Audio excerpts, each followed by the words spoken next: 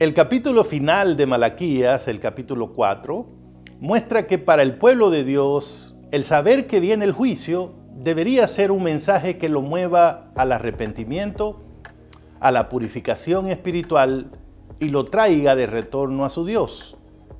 En ese sentido, el juicio para los hijos de Dios es una buena noticia.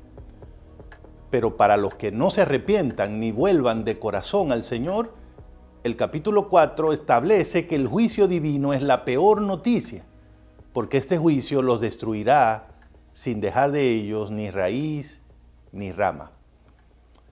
Pero los que hicieron caso a tiempo, los que escucharon la voz de Dios y abandonaron sus malos caminos, sobre esos Cristo, el sol de justicia, traerá la salvación y también la victoria final.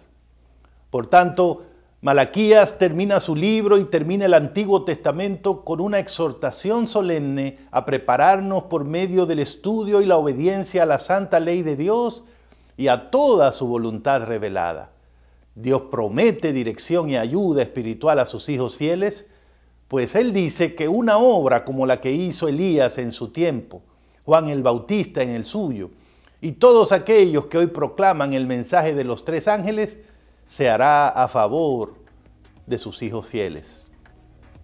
Malaquías entonces cierra con un mensaje de esperanza al recordarnos que el mismo Dios que destruirá a los impíos y rebeldes será el mismo que protegerá y salvará a todos los que se arrepientan. Que tú y yo estemos ahí. Soy el pastor Roberto Herrera y esto es lo que enseña mi Biblia en Malaquías capítulo 4.